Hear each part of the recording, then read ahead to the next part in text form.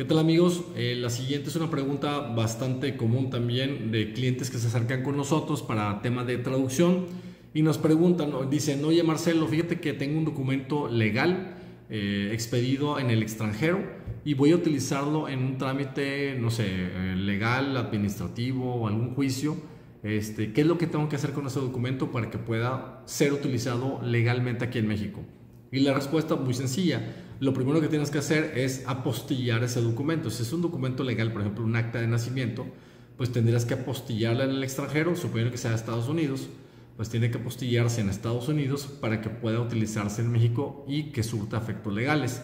Y lo segundo que tienes que hacer, si es de Estados Unidos, por ejemplo, pues tendrías que hacer la traducción oficial al idioma español, hecho por un perito traductor oficial autorizado por algún tribunal superior de justicia de eh, los diferentes estados de la República o por el eh, Poder Judicial Federal. Hay listas, ahí puedes buscar, ahí estamos por ejemplo nosotros, estamos en Nuevo León, este, ahí puedes encontrarnos o ahí puedes encontrar cualquier otro perito y ahí puedes seleccionarlo, ponerte en contacto para que te realice la traducción oficial y puedas presentar tu documento con el apostillado y la traducción oficial y no vayas a tener algún detalle al momento de iniciar tu trámite. Joven, bueno, pues espero que les haya servido esta información.